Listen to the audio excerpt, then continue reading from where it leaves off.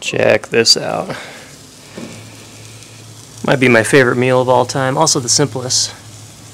Barbecue elk backstrap, sweet potato slices. Welcome back to the vlog. Tonight's meal was courtesy of this really cool bull that my dad shot last fall. full story of this hunt is on my YouTube channel, link below.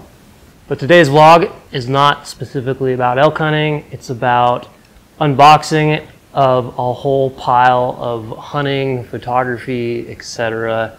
gear, which is all right there. So let's uh, let's dive into some unboxing. so I've been gone about the last two weeks, and I ordered a pile of stuff while I was gone. It all showed up to my doorstep pretty much at once. Let's jump into it. First up, We got four 64 gigabyte memory cards.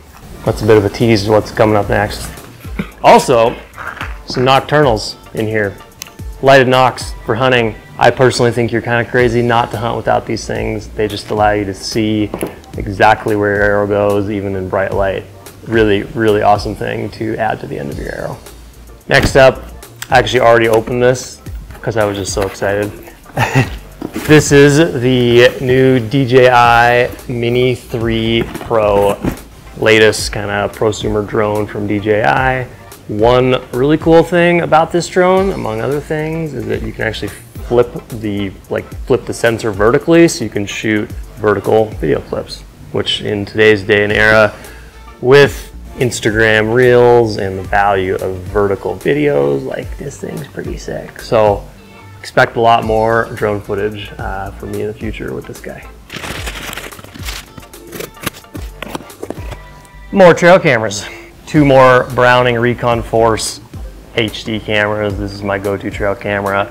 Now I have 27 because the other 25 that I have are all out in the field, hopefully recording some elk doing epic things. Next up, this is the Jakt Gear bow sling. This bow sling, it mounts on your bow. You can throw it over your shoulder, hike with it. Then as soon as you want to shoot, you don't have to take the bow sling off. It just kind of with a magnet pushes off to one side. You go ahead and shoot. It's epic. I've never actually used this, but I've seen a bunch of people use it at the Big Sky Total Archery Challenge, and I was like, oh my god, I have to have that. Looks pretty slick. So, more to come on this piece master locks for the trail cameras. Another Browning Recon Force trail camera. Got a whole goodie bag here.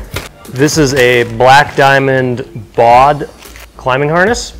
I've been playing around with tree saddle hunting and tree stands and doing it for elk and I've actually found that using a rock climbing harness is really awesome. I'm probably gonna get in trouble for saying this, the Tree Stand Safety Association of America is probably going to get mad. I don't really know much about tree stand hunting, but what I do know is that climbing harnesses are way more easy to use than traditional tree stand harness. So, yeah. This is called Lifeline. This allows me to attach to the base of the tree before I go up in the tree, prevents me from falling out. Got some uh, Allen camo tape, put on some clanky metal things that I have, keep it quiet in the woods.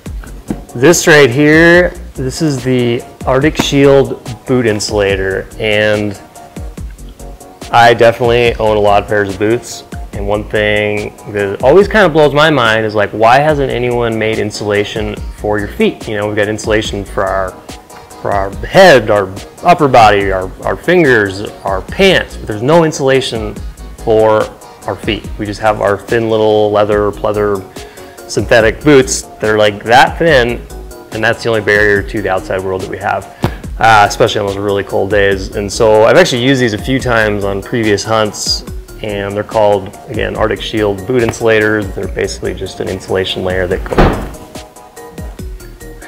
they're basically just an insulation layer that goes over your feet, and it's kind of shocking how warm these things are. And they basically just allow you to stay out there longer. They allow you to use your one favorite pair of hunting boots throughout the entire season. Kind of a mind-blowing product. So instead of going with, you know, multiple pairs of boots and having one really late season pair, just throw these in. throw them over your boots when you stop to glass or you're sitting out on a glassing knob just hanging out and like your feet are gonna be super toasty. Next package, this one, it says awesomeness inside. It's, it's not that awesome. The thing that I, that I already opened up is pretty awesome. This is just an accessory for that already awesome thing. Uh, these are a trail camera security box, basically a metal lock box that you put your camera in to prevent theft as well as prevent animals and stuff from chewing on your camera. So, two of them.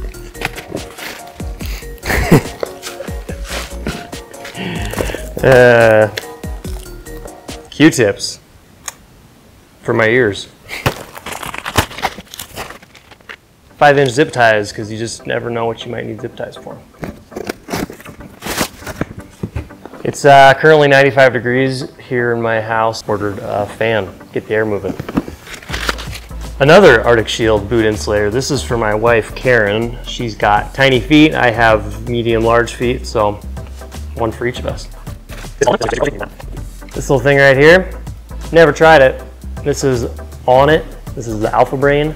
I'm just kind of looking for ways to bike my focus, my creativity, just be more inspired. Uh, in addition to cold showers and cold therapy, thought I might try this. So Alpha Brain from Onnit.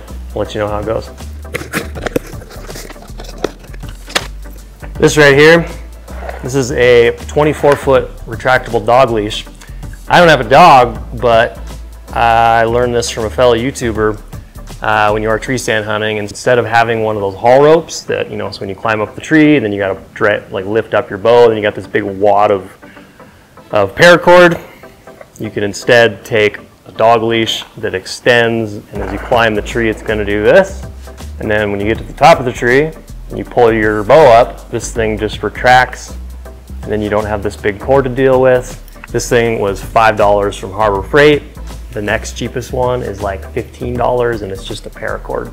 Little uh, haul rope hack that saved me some money as well as hopefully saves me some tangled messes while I'm up in the tree. I got two of them. This is a de-limbing saw. Where I've got my tree stand set, there's a bunch of limbs that are too far out of reach and they're totally in the way. This is like a 16 foot retractable um, limbing saw, so I'll be able to go up in the tree, reach out with this, saw those limbs down, have my shooting paths cleared. So where I have my tree stand set, it is on private land, and uh, on that piece of private, they're doing a bunch of tree thinning. So as far as like the leave no trace ethics and whatnot, that doesn't really apply because they do actually want to thin those trees in that area. So if I was on public land, I probably wouldn't be doing this. I'd probably just find a tree that was in a good spot and not do any delimbing of any sorts. So, FYI.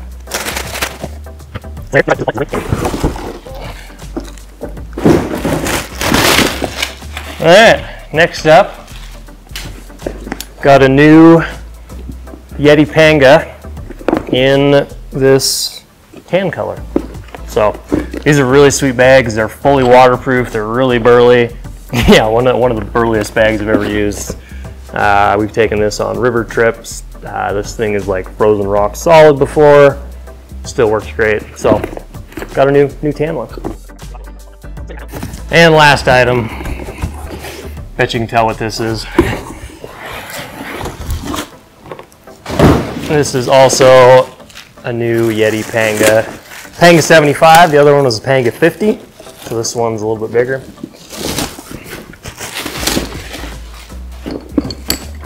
Again, fully waterproof luggage, great for river trips, anything, anytime you're getting really wet. These things are pretty bomber, so.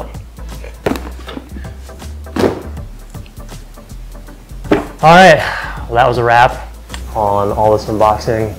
That was a lot of gear. Now I've got a lot of cardboard got to take out to the dumpster. Thanks so much for watching. Thanks for following along. I will do some more gear breakdowns, uh, especially on some of the stuff that I got. So stay tuned for that.